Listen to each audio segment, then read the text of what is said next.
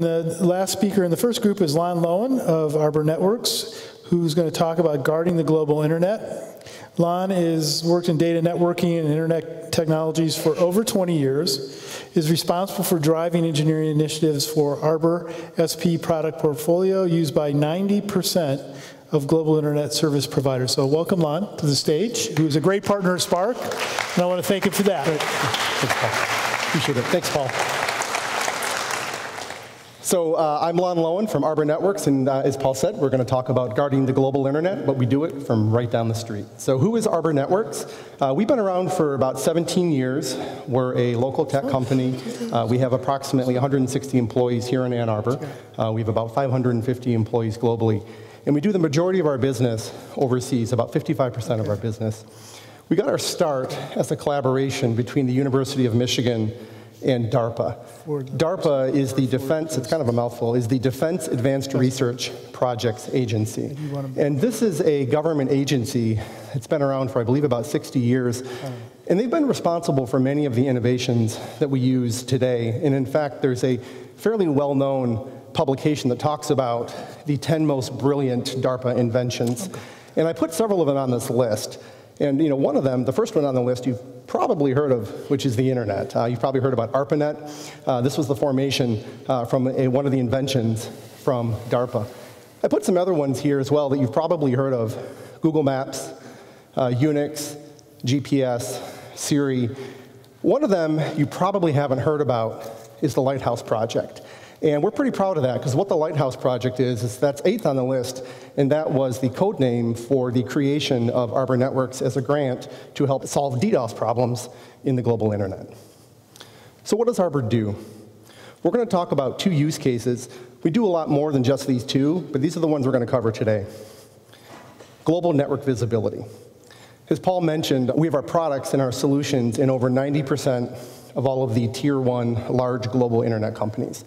These are the big organizations, big companies like AT&T and Verizon are probably the most well-known. And what they use our hardware and software for is they have these big routers, right? These big devices that sit in their core networks. And these are in these big buildings that don't have any windows.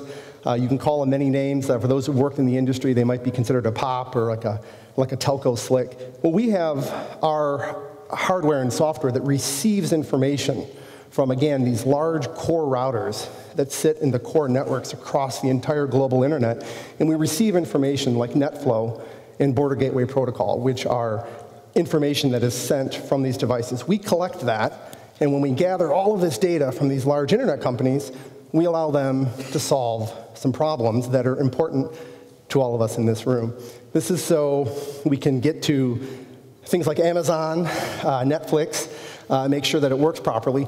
So they use our software in their core networks to help load balance, to make sure there's not latency problems, and that where traffic is being used across the network is performing properly. What Arbor is predominantly known for is DDoS. I'm going to define this here to make sure that we're clear. DDoS is distributed denial of service, and it's an attack or an attempt to attack, essentially to exhaust resources on network devices, applications, or services out in the global internet. So genuine users, like you or me, unless there's bad people in the audience, so essentially you can get to the services that you want to get to. I'm going to call them bad guys, for lack of a better term. There are bad guys out there that write software. You've probably heard of viruses, you may have heard of malware and botnets, but these bad guys write software that lives on personal computers. It could live on Internet of Things devices, such as wireless cameras, but this software is designed to work in conjunction with millions of other PCs and devices that are talking to a command and control server that essentially tell this software, hey, we're going to launch a large-scale coordinated attack to one specific target destination. Essentially, either like a website or DNS infrastructure that these bad guys want to take completely offline. And there's tools that you can go download to launch your own DDoS attack. I don't encourage you to go download these, by the way, but you can go look for them, and people can launch their own DDoS attacks. And these attacks can be huge. Last year, the largest attack was a 800 gigabit per second attack in 2016. So, to put that in perspective, a well connected, large financial institution like a large bank, they may have a 10 gigabit per second connection that brings all of their data pipes into, say, their web server farm or all of their infrastructure. If there were these coordinated attacks with botnet and malware that were sending traffic all at the exact same time of 800 gigs, it would completely overwhelm their entire infrastructure. And that's true with even 300 gigs and, and, and even like, a, like 100 gigs. So why attack?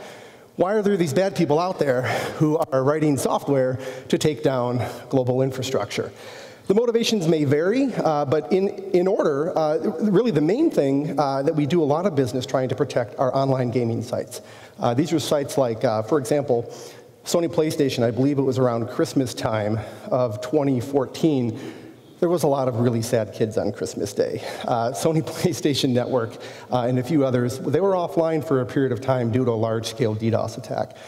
Motivations for that can be uh, online gaming players who have been kicked off the servers and they're frustrated and they want to launch an attack. Political and ideological. It is surprising how much is going on behind the scenes that most people don't know about. You have governments launching attacks trying to take down other governments or trying to take down infrastructure. Criminal extortions. This is where you have, again, these bad guys who are launching these attacks at a target destination, and they may launch it for, say, a half hour. They'll stop the attack, contact the organization, and say, hey, pay us some money or we're going to relaunch this attack. There's also competitive reasons. You don't see much of this in the United States, but you also have companies who hire these bad guys again to launch attacks to their competition. So, how do we solve it? This is where Arbor comes in. So, let's go back to the network visibility. If we have the visibility into all of the, the, the traffic across the internet, uh, again, the 90% of traffic, we can start to build heuristics around what does good look like? If you see traffic patterns, you can start to build a pattern around this looks like a DDoS attack. If these anomalies, these DDoS attacks, are detected, all of that target traffic, instead of it going to the actual target destination that's under attack, it actually goes to Arbor equipment that sits right next to those core routers in those buildings that don't have any windows. We analyze all of that traffic, we look at the packets, we drop that bad traffic, and then the good traffic is able to continue on to the intended destination. This is fake news. You probably did not read about Brazil's financial markets crashing during the Summer Games. In Rio, up until the Summer Games that occurred last year, there was actually a very significant amount of DDoS activity with these bad guys trying to take down the infrastructure uh, in, uh, in Rio. This is a representation of the traffic patterns up to the games, and then during the actual games in Rio, there was an approximately two week sustained attack of traffic of 500 gigs. However, you didn't hear about it because the government of Brazil and the internet service providers were prepared for this because they wanted to make sure, obviously, that the games was going to be successful for the athletes and people who wanted to stream video. So you never read about it. This is another one. This is, this is fake news. This didn't happen. It did happen, but it didn't happen a small Western African country disconnected from the world. Well, what actually happened is there was a small Western African country in October of 2016. They were hit with a massive DDoS attack. But they were prepared for it and they were able to block it and defend it, so it didn't make the news. Keep calm. Nothing happened. So, some takeaways. Um, before I actually jump into that, I do want to cover really briefly about what do we look for? Because I, I, get this question a lot, and uh, there's interest in security. There's a lot of security in Ann Arbor, which is fantastic. Well, if we're looking to hire someone, what do we look for? Linux, C, Python. If anyone in the room, you're, you're thinking, hey, I got some skills around that. Networking, TCP IP, security. If you're in school, if you're a student, you're looking at internships, things we look for is tech projects that you've done outside of school. Volunteer activities are, are important to us. Collaboration. How much do you work with other people? Uh, and no jerks. And what I mean by that is uh, we don't care how good you are technically. Uh, we want people who uh, are there to, to work well with other people. So the last thing is we're the folks guarding the global internet. We have traffic visibility. We can see the traffic patterns across the entire internet. We make sure that banks and gaming sites and retail and governments are online and they stay online. And we do that from right down the street. Thank you.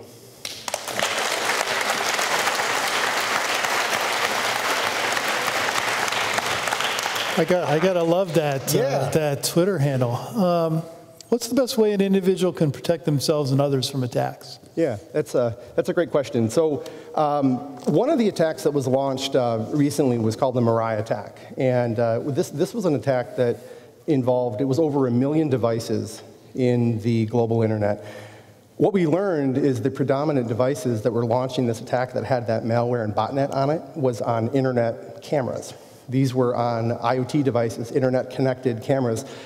What the, what the bad guys who write this software, what they've been using is the default login Too many devices. It can be, again, like those cameras, it can be uh, routers uh, that you have. In fact, uh, as an example, I, I just installed the garage door in my house, and it actually has an internet, it has wireless on it. So um, I changed the password. So um, really the best thing that you can do at home is, is really change your default passwords, because we're seeing more and more of the attacks are not being launched from the typical PCs.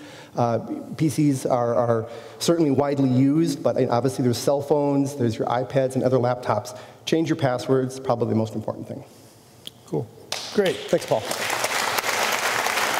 Thank you.